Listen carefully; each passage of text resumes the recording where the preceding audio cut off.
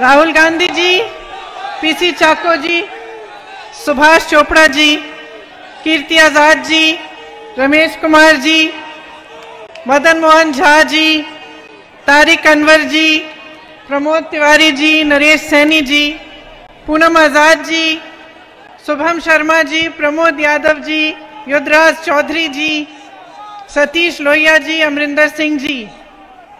और बहनों और भाइयों बहुत समय से इंतज़ार कर रहे हैं। भाषण सुन सुन के थक तो नहीं गए? चुनाव का समय है। चुनाव का समय है। सब पार्टी के उम्मीदवार आपके सामने आकर बड़े बड़े भाषण करते हैं। आजकल कभी कभी ऐसे लगता है कि मुद्दे गायब हो रहे हैं और बयानबाजी बहुत हो रही है। हो रही है कि नहीं? जो सबसे अहम मुद्दे हैं, वो कौन से हैं बताइए? जब आप यहाँ आते हैं देश भर से, किस चीज़ को ढूँढने आते हैं? रोज़गार को ढूँढने आते हैं। परसों, कल या परसों प्रधानमंत्री जी ने एक भाषण दिया। आप सबने सुना होगा उन्होंने रोज़गार की बात की। उन्होंने जो वादे किए थे, जिसके बारे में सबने इस मंच पे आपको याद दिलाया, उन्होंने उसके बारे में आपसे बात की। नहीं की ना। दरअसल ये है, बात ये है कि चाहे भाजपा के नेता हो या आम आदमी पार्टी के, अपनी प्रशंसा में रहते हैं आपको सुनाना चाहते हैं कि बड़े बड़े काम किए हैं, लेकिन जो आपके काम की बात है, उसके बारे में कम बात करते हैं। हाल ही में एक रिपोर्ट निकली है, जिसमें सात औद्योगिक क्षेत्र में से साढ़े तीन करोड़ रोज़गार घटे हैं, ये लिखा है। साढ़े तीन करोड़ रोज़गार घटे हैं और देश के प्रधानमंत्री जब आपके सामने भाषण देने आते हैं तो इसका ज़िक्र तक नहीं करते। क्या वो बता सकते हैं कि इन रोजगारों का घटना संयोग है या प्रयोग है? बता सकते हैं कि 35 सालों में जो बेरोजगारी का दर इतना ऊँचा हुआ है ये क्या संयोग था या प्रयोग था उनका? वे कहते हैं कि विपक्ष उन्हें काम नहीं करने देता, लेकिन वो फिर भी बड़ी तेज़ी से काम कर रहे हैं। ये बात सच है, बड़ी तेज़ी से काम हो रहा है, बड़ी तेज़ी से सरकारी कंपनियाँ बिक रही हैं। एलआईसी बेच डाली, एयर इंडिया बेच डाला, बीपीसीएल बेच डाला बीएसएनएल बेच डाला। यहाँ तक कि रेलवे भी बेच डालने की योजना कर रहे हैं। सचमुच, उनकी रफ्तार बहुत फास्ट है। कांग्रेस सरकार ने 14 करोड़ लोगों को गरीबी से निकाला और पाँच सालों में जिस तेज़ी से इन्होंने लोगों को गरीबी में वापस डाला है, उसका कोई अनुमान भी नहीं कर सकता। और बयान सुनिए। यहाँ यूपी के कितने लोग हैं?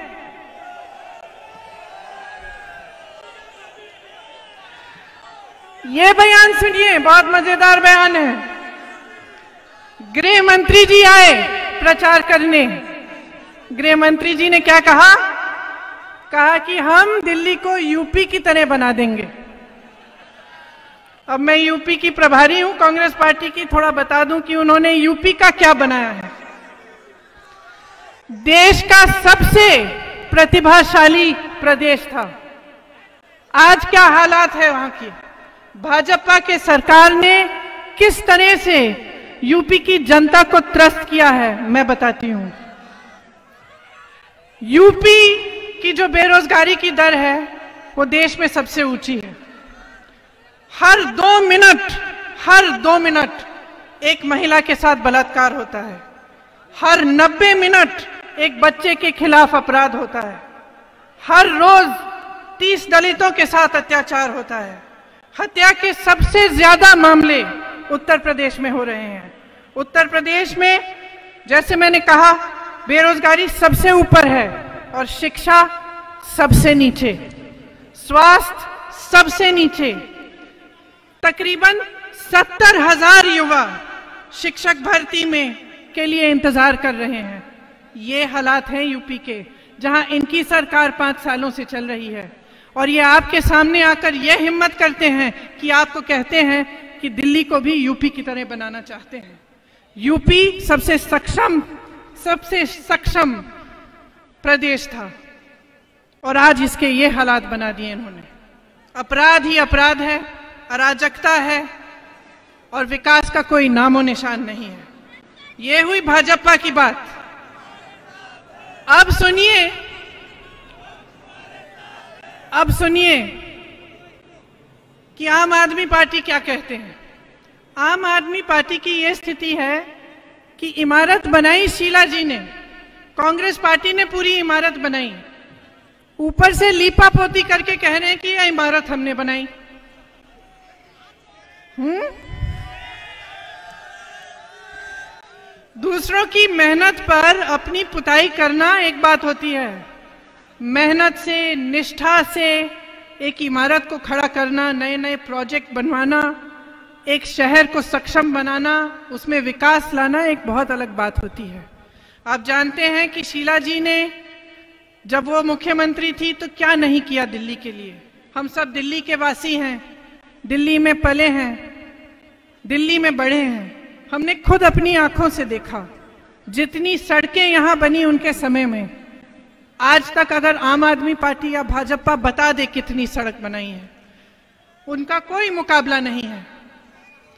फ्लाईओवर उन्होंने बनवाए, मेट्रो उन्होंने बनवाया, तमाम विकास के कार्य उन्होंने कराए।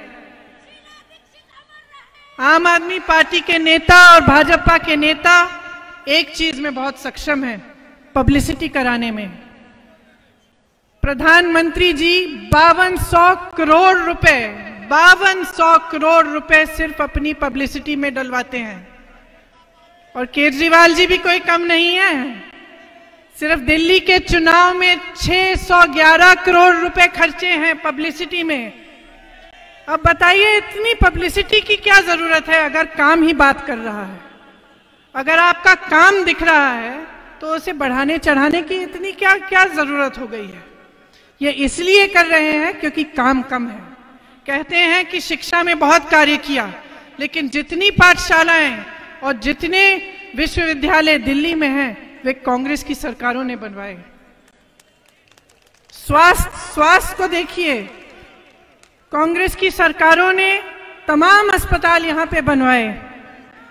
जब आम आदमी पार्टी की सरकार आई थी तो आपसे उन्होंने वादा किया था कि कम से कम पाँच अस्पताल बनाएँगे, एक भी नहीं बनाया। कांग्रेस की सरकार ने बाईस हज़ार बेड अस्पतालों में बढ़ाए थे। इनके पाँच सालों में केवल तीन हज़ार बढ़े हैं। तो आप सोच सकते हैं कि बात एक तरह की होती है और असलियत यह है कि काम कुछ और हो रहा है। काम कम हो रहा है, दूसरों के काम के बल पर थोड़ा बहुत करके आपके सामने बहुत बड़ी बड़ी पब्लिसिटी हो रही है। जहाँ जहाँ मैं जाती हूँ, दुकानदारों से बात करती हूँ, छोटे व्यापारी से बात करती हूँ, सब त्रस्त हैं। सब मुझे कहते हैं कि जीएसटी नोटबंदी से एकदम मार खा गए हैं। कमर टूट गई है उनकी। यहाँ आते हुए मैंने देखा काफ़ी नौजवान आ रहे थे इस मीटिंग के लिए। रोज़गार के लिए तरस रहे हैं। लेकिन ये मुद्दे उठ नहीं रहे हैं इस चुनाव में। इसके बारे में आपसे बात नहीं की जा रही है। कोई दूसरे देशों की बात करता है, कोई फूट फैलाने की बात करता है। एक जने कहते हैं कि जो भी उनकी आलोचना करता है वो देशद्रोही है।